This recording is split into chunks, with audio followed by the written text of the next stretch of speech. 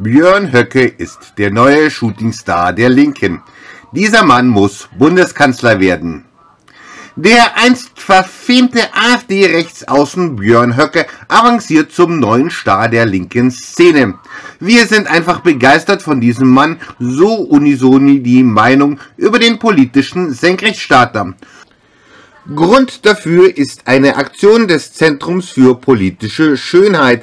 Ihnen gelang es nicht nur ein Holocaust-Denkmal vor dem Haus des AfD-Politikers zu platzieren, sondern ihn auszuspionieren und eine Genprobe zu halten. Und dabei ist es herausgekommen, Björn Höcke ist kein richtiger Deutscher. Es ist natürlich rassistischer Blödsinn, wenn man glaubt feststellen zu können, dass jemand genetisch bedingt Deutscher ist. Aber man kann natürlich feststellen, dass es kein Deutscher ist. Dialektik nennt man im Sozialismus diese Widerspruchsauflösung. Die Feststellung, dass Björn Höcke genetisch nicht Deutscher ist, hat letztlich in der linken Szene sogar zu noch größeren Unruhen geführt als in AfD-Kreisen.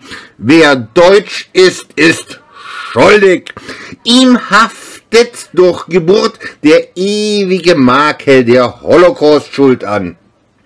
Angela Merkel ist Deutsche, sie ist schuldig. Horst Seehofer ist Deutscher, er ist schuldig.